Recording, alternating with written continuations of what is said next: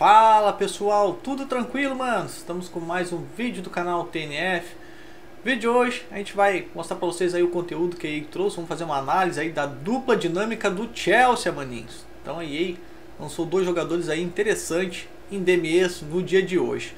Mas antes de ir com o vídeo, brigadão aí por todo mundo que participa assistindo os vídeos. Obrigado pessoal que sempre lança um comentário aí. A gente sempre faz de tudo para responder todo mundo é, lembrando que se você quiser aprender a fazer trade, a gente tem o nosso grupo VIP do IEFC, né? E nesse grupo VIP vocês vão aprender dicas de trade, é, você tem suporte para conversar diretamente comigo, você tem direito à análise de time. É, eu ajudo praticamente com tudo que se diz respeito ao gerenciamento de clube aí para vocês aproveitar ao máximo as suas coins e também ganhar bastante coins dentro do IFC. Mensalidade baratinho e o link está na descrição desse vídeo. Manda mensagem lá para mim, TNF, como funciona o grupo VIP que eu explico um pouco melhor, beleza, manos?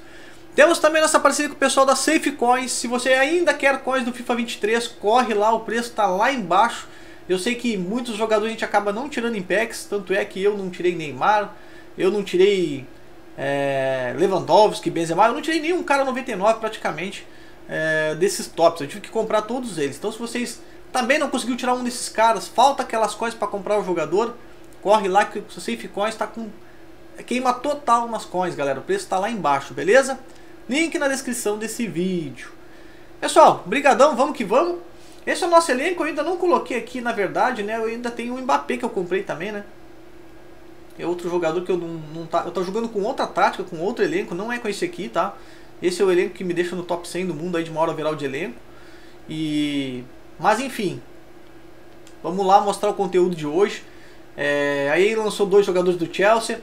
Eu acho que ainda tem tempo para ir trazer a dupla dinâmica do Barcelona. Não sei se vai rolar, mas acho que faria mais sentido, porque é João Félix, né? E, e tem também o Cancelo, são dois caras bacanas que eles poderiam aproveitar. Só que assim, aí lança jogadores 97 quando a gente já tem 98 e 99. Então isso aqui é uma coisa que vai um pouco em contra, né? Porque você, em vez de evoluir, você vai regredindo dentro do jogo. Mas ainda assim são cartas muito boas, em que o 97 não quer dizer muita coisa, porque por exemplo, o de Sassi já tem 94 de velocidade, mano. Então um zagueiro rapidíssimo e o Caicedo é um meio de marcação muito top também. Eu não consigo acessar as cartinhas para olhar por aqui, mas uma pede um elenco 93 e a outra também pede um elenco 93. É um pouquinho caro para fazer, até que não, galera. É apenas um DME. Só que é difícil você farmar um time 93 e a gente sabe que não é tão rápido. Mas ainda assim são duas cartas que eu acho interessante e para quem quer testar algum jogador diferente no elenco, eu acho que vale a pena. Ou para quem monta um time da Premier League, né? Valeria a pena fazer, beleza? Fora isso, a EA renovou algum desses DMEs que eu não vou entrar muito em questão.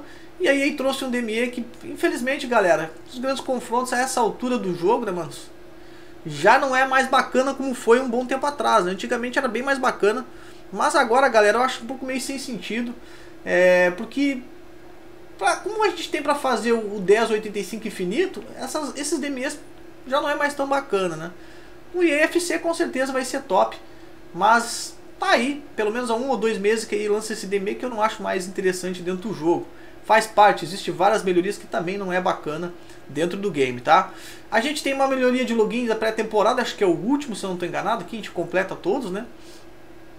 E eu vou fazer ele aqui e depois nós vamos tentar entrar no clube para ver se dá para nós enxergar os jogadores aí, as cartinhas e fazer uma análise mais detalhada do Dissassi e do Caicedo, beleza, manos? Deixa eu pegar um jogador aqui que seja um timezinho menor. Pode ser esse aqui, não tem importância de ser, não tem importância de ser raro. E vamos dar uma olhada no nosso time aqui, ver se a gente consegue ver o Caicedo dos jogadores do Chelsea. Se a EA já deixou disponível pra gente ver isso aí, né? Porque era pra dar pra enxergar ali, mano. Mas, como ali a gente não tá conseguindo, talvez aqui fazendo uma análise do clube a gente consiga, tá? Deixa eu só tirar o Yaya Touré daqui. E por aqui a gente vai tentar ver se a gente acha jogadores do Chelsea. E vamos botar de conceito, que aí deveria aparecer todos, tá? Tá aqui, galera, o de Sassi e o Caicedo. Vamos ver o zagueiro aqui, como é que ele é. Média alta, 1,90m, tem uma altura boa. 5 de drible para um zagueiro, não precisava, né? É, mas enfim, é um recurso a mais. 89 de aceleração, 98 de pique. Aqui você vai ter que gastar uma carta que faça ele correr, aumentar a velocidade, porque a aceleração dele é muito baixa comparado com o pique, né? Então, eu não sei se eu colocaria uma, um catalisador, se bem que já tem os passos e visão muito altos. Sombra também não faria muito sentido. Galera, difícil saber o que colocar aqui, mano. Talvez até eu colocaria sombra mesmo. para aumentar o carrinho, o cabeceio, a interceptação, noção defensiva e dividida em pé. E a velocidade iria para um 87 por aí, 97 se eu não estou enganado, tá? E 99 de pique.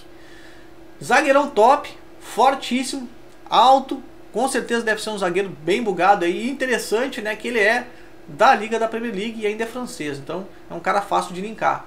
O Caicedo já não é tão fácil de linkar, porque ele é um cara do Equador, então, mas vamos lá, alta alta, o interessante é que ele fosse média para ataque e alta para defesa, pelo menos, que aí seria bem mais interessante do que alta alta. 4 de drible, 5 de perna ruim, é, dá para usar de volante ou de MC, 98 de aceleração, 92 de pique. Cara, tá aqui para utilizar nele, manos. Eu acho até que. Pô, aqui acho que é uma âncora. Eu acho que âncora daria, galera, para aumentar um pouco mais o pique dele que tá baixo. Vai aumentar a defesa no máximo e o físico também. Aqui, galera, não tem muito o que fazer. Os jogadores são muito altos é, nos stats, quase tudo ali. É impressionante. São caras top, com certeza vai ser jogadores bem bacanas de se utilizar dentro do jogo. Mas é mais para brincar mesmo, porque a maioria deve utilizar outros jogadores que são mais conhecidos que esses dois. Aliás, se eu não estou enganado, o Chelsea pagou mais caro pelo Caicedo do que o Bellingham pelo Real Madrid, mano. E o Bellingham é mais, bem mais jogador que esse Caicedo, mas bem mais mesmo, né? Manos, de novidade eu acho que seria isso, se eu não enganei de não tô enganado de nada, né? Se eu esqueci de alguma coisa, deixa nos comentários para ajudar a galera. Obrigadão pelo apoio de sempre. Tamo junto e até o próximo vídeo, maninhos. Fui, um abraço do TNF.